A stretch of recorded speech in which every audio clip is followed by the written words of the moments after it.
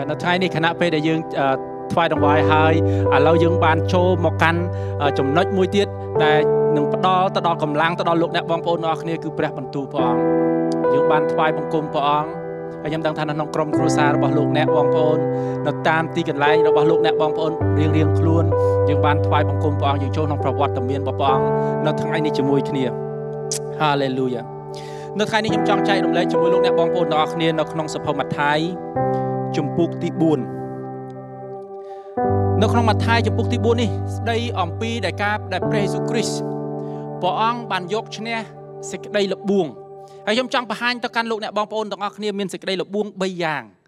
ដែលមាបានលបួងព្រះយេស៊ូវគ្រីស្ទហើយព្រះអង្គបានយកឈ្នះទាំងអស់នៅថ្ងៃនេះយើងចង់សិក្សាជាមួយគ្នា ហើយយើងអាចរៀនពីគំរូទាំងអស់នោះឲ្យយល់ពីអ្វីដែលព្រះអង្គគាត់ប្រហារតីដែលមានសម្រាប់យើង ហើយដើម្បីឲ្យយើងបានយកឈ្នះសេចក្តីលបួងទាំង3ប្រភេទនេះដែរហើយខ្ញុំជឿជាក់ថាសេចក្តីលបួងទាំងនេះក៏មាននៅក្នុងសតវត្សទី21នេះផងដែរ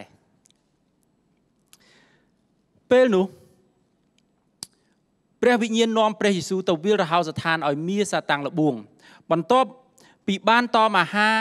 អស់រយៈពេល40ថ្ងៃ40យប់មក ព្រះអង្គក៏ឃ្លាន មេលបួងចូលមកចិត្តព្រះអង្គពោលថា ប្រសិនបើលោក ជាព្រះបុត្រារបស់ព្រះជាម្ចាស់មែនសូមធ្វើឲ្យដុំថ្មនេះ ទៅជានំប៉័ងមើលប៉ុន្តែ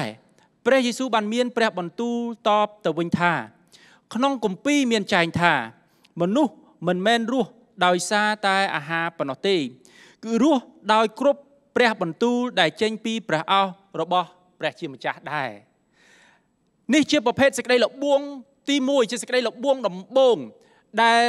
មាដែលក្នុងព្រះគម្ពីរបានចែងថា ជាមាសាតាំងជាមេភូតផជាមេកុហកជាអ្នកដែលសម្លាប់ ជាចោរដែលលួច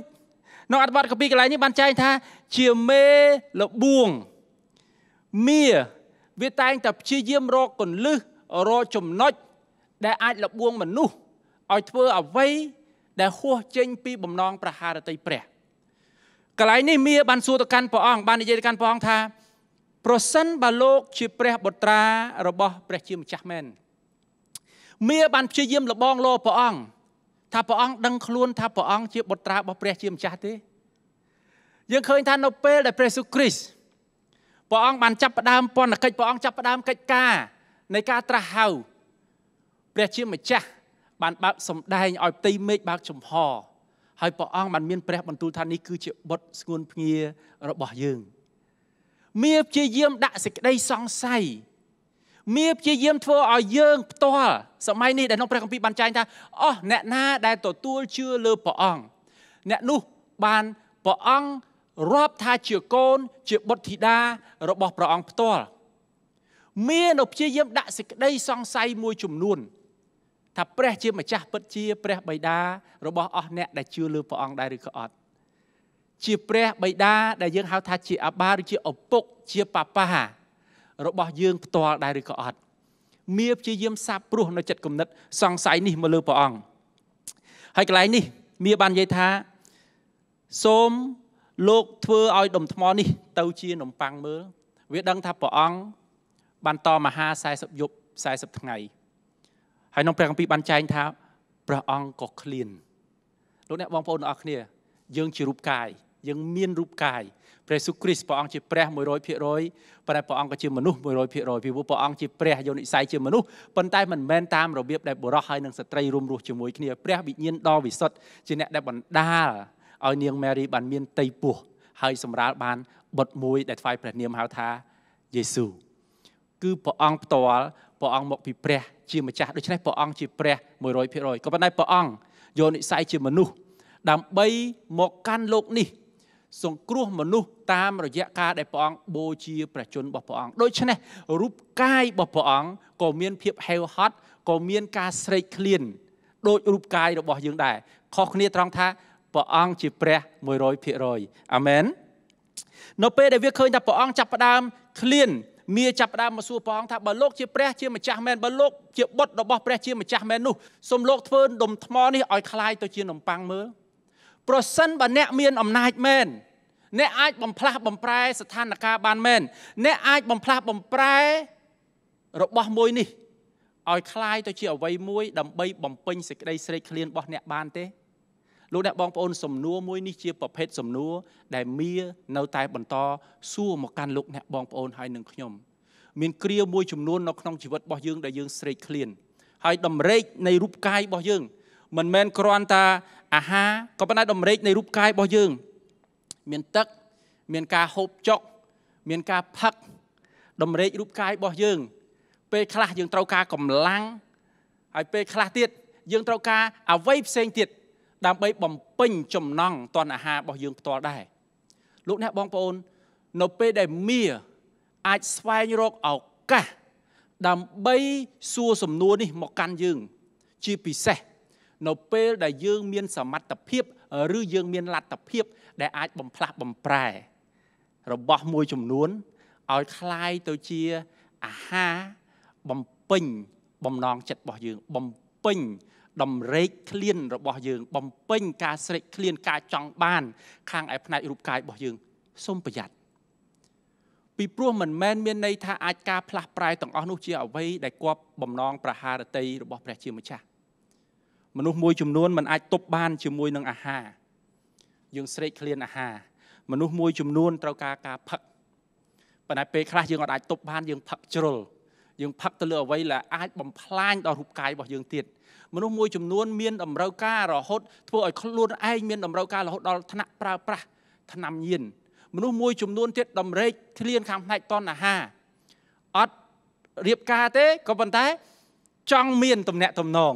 ផ្លូវភេទដូចអ្នកដែលរៀបការហើយដែរដូច្នេះគេអាចប្រើប្រាស់ថវិការបស់គេទៅបំផ្លាស់បំប្រែស្ថានភាពមួយចំនួន ដើម្បីបំពេញតម្រេកផ្ទាល់ខ្លួនរបស់ពួកគេ លោកអ្នកបងប្អូននេះជាសេចក្តីលបួងដំបងដែលមៀបានព្យាយាមដាក់ទៅកាន់ព្រះយេស៊ូវគ្រីស្ទខ្ញុំចង់បកប្រែនៅពេលបច្ចុប្បន្ននេះឲ្យលោកអ្នកបងប្អូនបានយល់ថាមៀនៅតែសួរសំណួរមួយនេះមកកាន់លោកអ្នកបងប្អូន ជាពិសេសបើសិនជាលោកអ្នកបងប្អូនឃើញថាមាសួរទៅកាន់ព្រះអង្គថាប្រសិនបើលោកជាព្រះបត្រាមែននេះចង់សម្ដៅថាជាបើលោកមានរធានុភាពមែនបើលោកប្រកែគ្រាន់បើមែនបើលោកអាចមានសមត្ថភាពបំផ្លាស់បំប្រែការនឹងបានលោកធ្វើចេះបានតា លោកអ្នកបងប្អូនដឹងទេមាននឹងចាប់ដើមសួរមកកាន់លោកអ្នកបងប្អូនបើលោកអ្នកបងប្អូនអាចមានលុយលោកអ្នកបងប្អូនអាចធ្វើកិច្ចការនេះបានតាបើលោកអ្នកបងប្អូនមានអំណាចលោកអ្នកបងប្អូនអាចធ្វើកិច្ចការនេះបានតាប៉ុន្តែសំណួរដែលសំខាន់នេះព្រះអង្គចង់ឲ្យយើងឆ្លើយដោយការគោរពទុកចិត្តទៅលើព្រះបន្ទូលរបស់ព្រះអង្គព្រះអង្គបានឆ្លើយទៅកាន់មាវិញថាចេះ ប៉ុន្តែព្រះយេស៊ូវបានមានព្រះបន្ទូលតបទៅវិញថាក្នុងគម្ពីរមានចែងថាមនុស្សមិនមែនរស់ដោយសារតែអាហារប៉ុណ្ណោះទេគឺរស់ដោយសារគ្រប់ទាំងព្រះបន្ទូលដែលចេញពីព្រះអោសរបស់ព្រះជាម្ចាស់ដែរលោកអ្នកបងប្អូនអរគ្នាព្រះអង្គគាត់ប្រហារតីឲ្យយើងរស់នៅដោយស្របតាមព្រះបន្ទូលរបស់ព្រះជាម្ចាស់សំណួរដែលខ្ញុំចង់សួរទៅកាន់លោកអ្នកបងប្អូនខ្ញុំជឿជាក់ថាអាចជាសំណួរដែលចាក់ដោតស្អីគេដែលរូបកាយយើងស្រេកឃ្លានខ្លាំង ស្អីគេដែលជាបំណងចិត្តនៃតម្រូវការនៃរូបកាយរបស់លោកអ្នកបងប្អូនប្រហែលជាលោកអ្នកបងប្អូនអាចឆ្លើយថាខ្ញុំចូលចិត្តអាហារជ្រុលប្រហែលជាលោកអ្នកបងប្អូនឆ្លើយថាខ្ញុំមួយរយៈនេះផឹកជ្រុលហើយផឹកទៅវាផឹកជ្រុលរហូតដល់មិនល្អវាអាចបំផ្លាញទៅដល់សុខភាពរបស់ខ្ញុំលោកអ្នកបងប្អូនមួយចំនួនប្រហែលជានិយាយថាខ្ញុំកំពុងតែញៀនជាមួយនឹងថ្នាំញៀនធ្វើឲ្យតម្រេកនៃរូបកាយរបស់ខ្ញុំត្រូវការ មនុស្សមួយចំនួនទៀតនិយាយតាមត្រង់គាត់ត្រូវការដៃគូដើម្បីបំពេញបំណងតណ្ហានៃជីវិតរបស់គាត់ព្រះអង្គអាចបំពេញរាល់គ្រប់ទាំងសេចក្តីត្រូវការរបស់លោកអ្នកបងប្អូនទាំងអស់គ្នាបានដោយពឹងអាងលើព្រះបន្ទូលព្រះអង្គដោយពឹងអាងលើការដឹកនាំដែលមកពីព្រះអង្គនៅក្នុងអត្ថបទកពីនេះបានចែងថាចេះហេព្រើរចំពុកទី4ខ12ត្បិតព្រះបន្ទូលរបស់ព្រះជាម្ចាស់ជាព្រះបន្ទូលដ៏មានជីវិត និងមានរធានុភាពជាងដាវមុខពីទៅទៀតព្រះបន្ទូលនេះអាចចាក់ទម្លុះចូលទៅកាត់ព្រលឹងនិងវិញ្ញាណដាច់ពីគ្នាសន្លាក់ឆ្អឹងនិងខួរឆ្អឹងចេញពីគ្នាព្រះបន្ទូលវិនិច្ឆ័យឆន្ទៈនិងគំនិតនៅក្នុងជំរៅដួងចិត្តរបស់មនុស្សប្រសិនបើយើងអត់ដឹងថាតើតម្រេកខ្ញុំមួយនេះសេចក្តីស្រេកឃ្លានរបស់ខ្ញុំមួយនេះតម្រូវការខ្ញុំមួយនេះខ្ញុំមិនដឹងជាត្រូវធ្វើយ៉ាងម៉េចដើម្បីអាចយកឈ្នះបានដើម្បីធ្វើយ៉ាងម៉េចអាចបំពេញបានព្រះសុគ្រីស្ទព្រះអង្គមានព្រះបន្ទូលថាមនុស្សមិនមែនរស់ដោយសារតែសេចក្តី ស្រេកឃ្លានទាំងអស់នោះប៉ុណ្ណោះនោះទេប៉ុន្តែរាល់គ្រប់ទាំងព្រះបន្ទូលដែលចេញពីព្រះអស់របស់ព្រះអង្គពីព្រោះព្រះបន្ទូលរបស់ព្រះអង្គជាព្រះបន្ទូលដ៏មានជីវិតនិងមានឫទ្ធានុភាពមានជីវិតមានន័យថានៅពេលដែលយើងប្រើប្រាស់ព្រះបន្ទូលព្រះអង្គនៅពេលដែលយើងស្ដាប់ព្រះបន្ទូលព្រះអង្គឫទ្ធានុភាពនៃព្រះបន្ទូលនោះនឹងបំពេញនៅក្នុងសេចក្តីត្រូវការនៅក្នុងជីវិតរបស់លោកអ្នកបងប្អូនព្រះបន្ទូលនោះនឹងជួយឲ្យលោកអ្នកបងប្អូនអាចទុកចិត្តព្រះអង្គហើយយកឈ្នះលើសេចក្តីត្រូវការឬក៏ភាពស្រេកឃ្លាននៃរូបកាយនៃតណ្ហារូបកាយរបស់យើងបាន ដោយពឹងអាងលើព្រះអង្គហើយព្រះអង្គ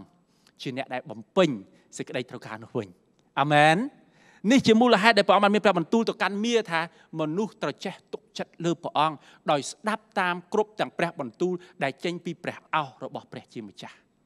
អាមែននៅក្នុងខទី5បន្ទាប់ពីសេចក្តីលបួងទី1ត្រូវបានបរាជ័យមាបានចាប់ផ្ដើមធ្វើកិច្ចការមួយផ្សេងទៀតពេលនោះ មានាំព្រះអង្គទៅក្រុងយេរូសាឡឹមជាក្រុងដ៏វិសុទ្ធ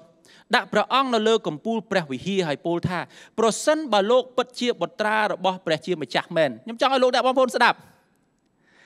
មៀមួយផ្លែតសួរព្រះអង្គពីរដងមួយផ្លែតមួយផ្លែតឆ្លៀតឆ្លៀតបញ្ជាក់ម្ដងហើយម្ដងទៀត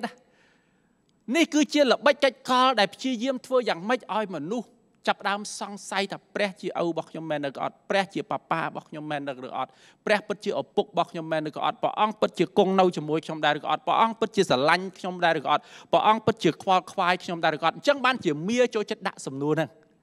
ពីព្រោះមាបានជោគជ័យជាមួយសំណួរហ្នឹងនៅពេលដែលមាបានសួរទៅកាន់មនុស្សដំបងដែលព្រះបានបង្កើតហើយមាបានយកឈ្នះដូច្នេះមាវាញ៉ាំ ជាមួយនឹងជ័យជំនះដែលពីអតីតកាលមកហើយសេចក្តីដែលដែលសេចក្តីលបួងរបស់វានេះតិចនិចនៃការលបួងរបស់វាមួយនេះវាអាចធ្វើទៅកាន់អ្នកដតីហើយក៏មានឱកាសជោគជ័យដូច្នេះបានជាវាចេះតែសួរអំពីសំណួរដែលបញ្ជាក់អំពីអត្តសញ្ញាណមួយនេះប្រសិនបើលោកជាព្រះបុត្រារបស់ព្រះជាម្ចាស់មែនសូមលោកលោតទម្លាក់ខ្លួនចុះក្រោមមើលត្បិតក្នុងគម្ពីរចែងថា ព្រះជាម្ចាស់នឹងបញ្ជាឲ្យទេវតាចាំទ្រលោក មិនឲ្យជើងលោកប៉ះទង្គិចនឹងថ្មឡើយព្រះយេស៊ូវបានមានព្រះបន្ទូលតបទៅមាវិញថាត្បិតក្នុងគម្ពីរក៏មានចែងថាគុំលបងលោព្រះជាម្ចាស់ជាព្រះរបស់អ្នកឡើយសេចក្តីលបួងទី2ដែលមាបានព្យាយាមធ្វើដែលសេចក្តីលបួងទី1ខាងផ្នែកដំរេកឯសាច់ឈាមប៉ុន្តែសេចក្តីលបួងប្រភេទទី2នេះ វាចង់លបួងព្រះអង្គ ឲ្យព្រះអង្គលបងលោជាមួយនឹងព្រះជាម្ចាស់សាកលបងលោមួយព្រះជាម្ចាស់ឲ្យធ្វើកិច្ចការមួយចំនួន ដែលព្រះអង្គមិនគាត់បហាតីប៉ុន្តែរំពឹងថាព្រះអង្គមកជួយ ធ្វើកិច្ចការដែលព្រះអង្គអត់ប្រាប់ឲ្យធ្វើហើយបើសិនជាធ្លាក់ដួលដល់ដីមែនគ្រោះថ្នាក់មែនបាក់ដៃបាក់ជើងមែនត្រូវដាក់សេចក្តីបន្ទោសនឹងទៅកាន់ព្រះអង្គថាមកពីព្រះអង្គមិនជួយ នេះគឺជាសេចក្តីលបួងប្រភេទទី2ដែលធ្វើឲ្យមនុស្សមានអំនួតលើខ្លួនឯងធ្វើកិច្ចការហួសព្រំដែនដែលព្រះជាម្ចាស់ត្រាស់ហៅឲ្យធ្វើមាបានសួរទៅកាន់ព្រះអង្គបើសិនជាលោកទម្លាក់ខ្លួនចុះទៅក្រោមព្រះអង្គនឹងយកទេវតារបស់ព្រះអង្គបញ្ជូនទេវតារបស់ព្រះអង្គមកចាំទ្រលោកមិនឲ្យជើងរបស់លោកបានប៉ះដល់ដីមាបានប្រើខកូពីមួយនេះ ដែលដកស្រង់ចេញពីសភៅទំនុកដំកើងចំពុកទី91 នៅក្នុងខទី1ដល់ខទីសំទោសខ11និងខ12ក៏ប៉ុន្តែមីអត់បាននិយាយអត្តន័យទាំងស្រុងទេនេះគឺជាល្បិចមួយទៀតដែលលោកអ្នកបងប្អូនហើយនឹងខ្ញុំត្រូវស្គាល់ព្រះបន្ទូលព្រះអង្គឲ្យបានច្បាស់លាស់ប្រសិនបើយើងអត់ស្គាល់ព្រះបន្ទូលព្រះអង្គបានច្បាស់លាស់ទេមីយកព្រះបន្ទូលរបស់ព្រះជាម្ចាស់តាមពាក់កដាលហើយវាបន្ថែមគំនិតវាពាក់កដាលហើយធ្វើឲ្យយើងមានអារម្មណ៍ថាអ្វីដែលមាននិយាយនេះឬគំនិតដែលយើងសង្ស័យដែលជាគំនិតនៃការសាបព្រោះពីមាសាតាំងចូលក្នុងគំនិតរបស់យើងនេះ ជាគំនិតពិតតាមពិតវាជាសេចក្តីលបួងខ្ញុំចង់ឲ្យលោកអ្នកបងប្អូនស្ដាប់នៅក្នុងទំនុកដំកើងចំពុកទី91ខ11ហើយនិងខ12ពីអត្តន័យកពីដើមត្បិតព្រះអង្គម្ចាស់នឹងបញ្ជាឲ្យពួកទេវតាជួយអ្នកពួកទេវតានឹងការពារអ្នក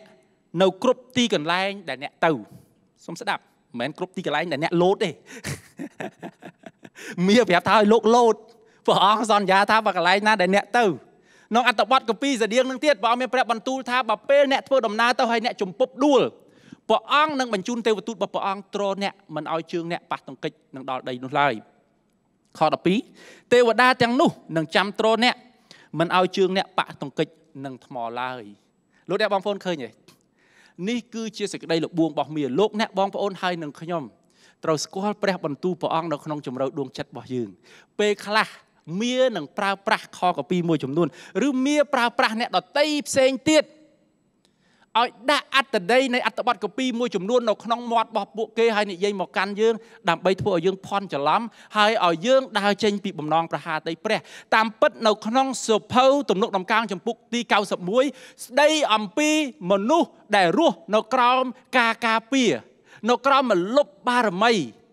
បស់ព្រះអង្គ ព្រះអង្គថាអ្នកនោះព្រះអង្គនឹងការពារមនុស្សដែលរស់នៅក្រោមមលុបព្រះបារមីព្រះអង្គឲ្យព្រះអង្គការពារមានន័យថាម៉េចជាក្រុមមនុស្សដែលធ្វើដំណើរទៅទីតាំងដែលព្រះអង្គប្រាប់ឲ្យគេទៅពីព្រោះគេរស់នៅក្រោមមលុបព្រះបារមីរបស់ព្រះអង្គគេរស់នៅក្រោមការដឹកនាំរបស់ព្រះអង្គ ហើយព្រះអង្គបានសន្យាមួយគេថាបើសិនជាអ្នករស់នៅក្រោមការដឹកនាំរបស់យើងគ្រប់ទីកន្លែងដែលអ្នកទៅយើងនឹងការពារអ្នកជំងឺរាតត្បាតក៏មិនអាចមានអត្តពលលើជីវិតរបស់អ្នកមិនអាចប៉ះពាល់អ្នកបានព្រះអង្គមានព្រះបន្ទូលសន្យាយ៉ាងដូចនេះមែនក៏ប៉ុន្តែចំពោះអស់អ្នកណាដែលរស់នៅក្រោមមលុបព្រះបារមីរបស់ព្រះអង្គនោះព្រះអង្គនឹងការពារមិនមែនមនុស្សដែលមានអំនួតហើយជ្រើសរើសស្ដាប់តាមសេចក្តីកុហករបស់មា ហើយធ្វើកិច្ចការមួយចំនួនដែលខ្ញុំហាក់ចាត់ទុកថាជាកិច្ចការផ្កើនចោះមាចង់សួរទៅកាន់ព្រះអង្គបើនិយាយម៉ាត់ឲ្យខ្លីថាចេះបើលោកគ្រាន់បើបើលោកជាព្រះបត្រារបស់ព្រះជាម្ចាស់បើគ្រាន់បើលោតពីលើកពូលវិហារមកនេះជាសំណួរដែលសំខាន់ដែលមាសួរបើអ្នកឯងគ្រាន់បើមែនអ្នកឯងធ្វើចេះទៅមិនធ្វើចឹងទៅគេស្ដាប់ហើយបើអ្នកឯងគ្រាន់បើមែនណាបើអ្នកឯងគ្រាន់បើមែនបើអ្នកឯងមានអំណាចមែននោះបញ្ជាគេឲ្យធ្វើតាមចិត្តខ្លួនឯងទៅបញ្ជាគេឲ្យបំរើខ្លួនឯងទៅ បញ្ជាគេឲ្យធ្វើកិច្ចការមួយនេះទៅបើគ្រាន់បើមែនជាទៅគេធ្វើនេះគឺជាប្រភេទសេចក្តីលបួងដដែល ដែលមាបាននិយាយទៅកាន់ព្រះស៊ូគ្រីស្ទ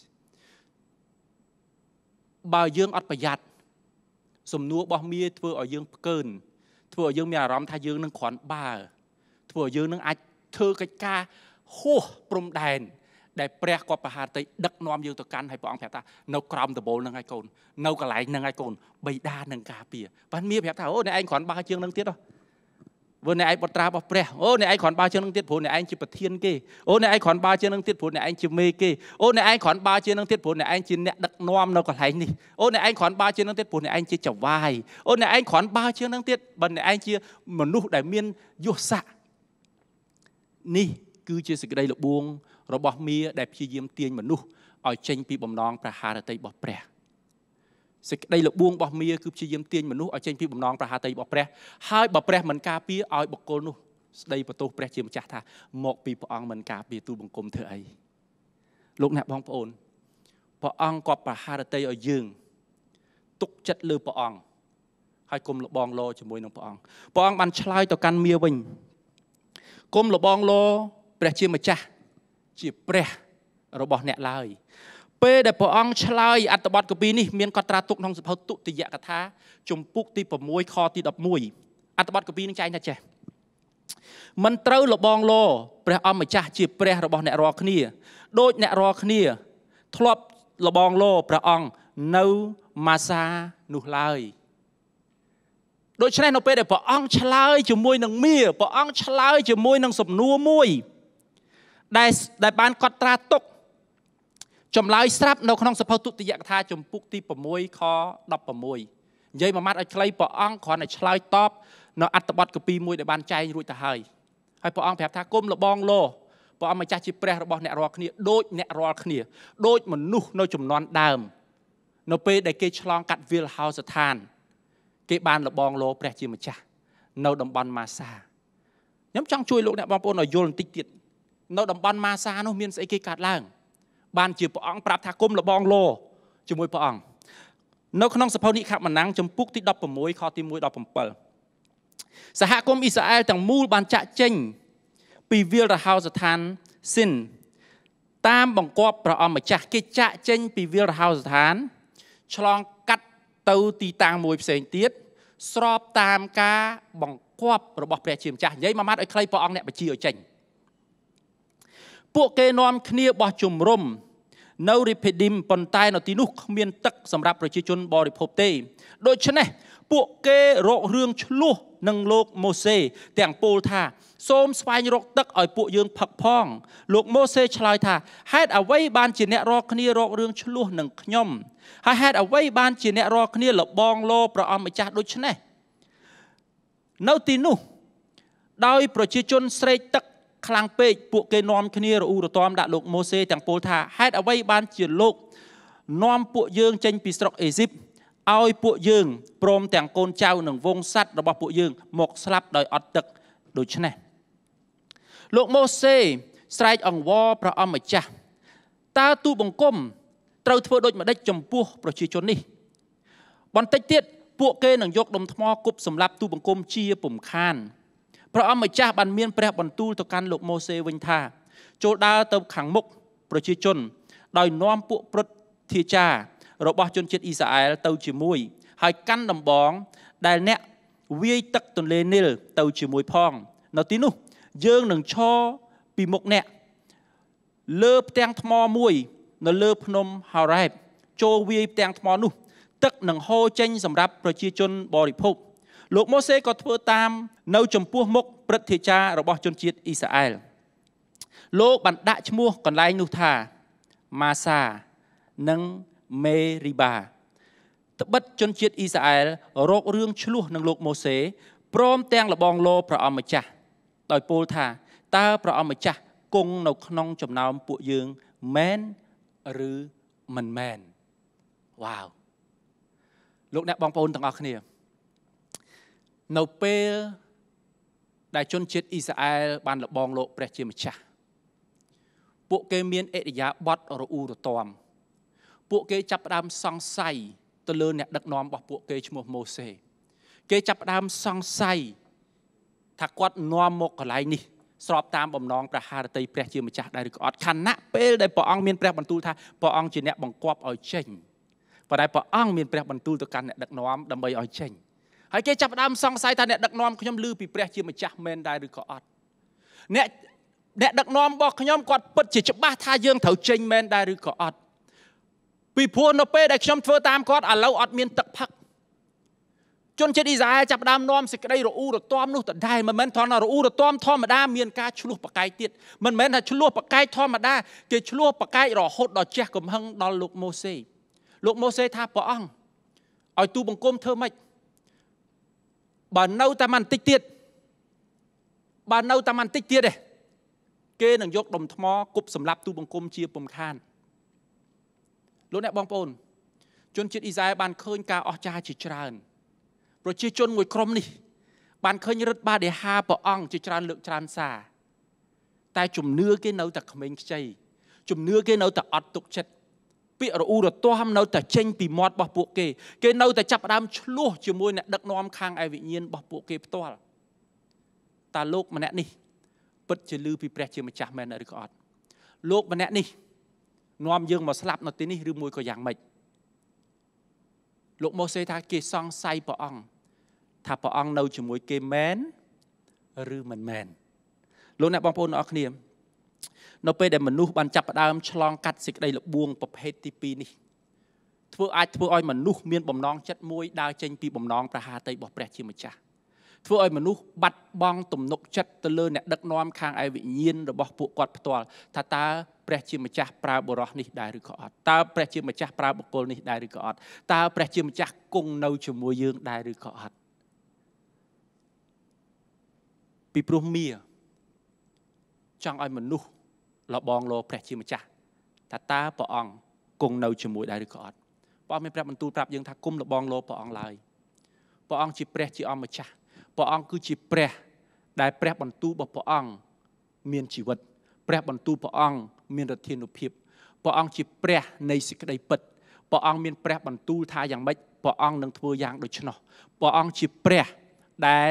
មិនកែប្រែសោះឡើយក្នុងព្រះគម្ពីរចែងថាពីអតីតកាលយ៉ាងម៉េចព្រះអង្គនៅពេលបច្ចុប្បន្នតព្រះអង្គដដែលទៅថ្ងៃអនាគតទៀតក៏ព្រះអង្គមិនផ្លាស់ប្រែដែរលោកអ្នកបងប្អូននៅពេលដែលព្រះអង្គបានមានព្រះបន្ទូលថាព្រះអង្គអាចបំពេញរាល់គ្រប់ទាំងសេចក្តីត្រូវការរបស់លោកអ្នកបងប្អូនហើយនឹងខ្ញុំបាន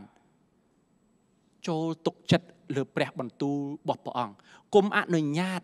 ឲ្យសេចក្តីល្បួងនៃការស្រេកឃ្លានខាងផ្នែកឯរូបកាយរបស់យើង បាត់បង់ទំនុកចិត្ត ហើយធ្វើទៅតាមទង្វើ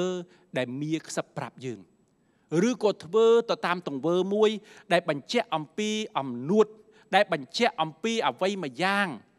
ដែលដែលហាក់ដូចជាផ្កើនជាមួយនឹងព្រះអង្គដែលហាក់ដូចជាចង់បង្ហាញព្រះអង្គថាយើងគ្រាន់បើទៅវិញឬចង់បង្ហាញទៅកាន់អ្នកដទៃផ្សេងទៀតថាយើងគ្រាន់បើជំរឿខ្ញុំអាចធ្វើកិច្ចការនេះបានដោយខ្លួនឯងក៏ប៉ុន្តែកិច្ចការដែលយើងធ្វើនោះ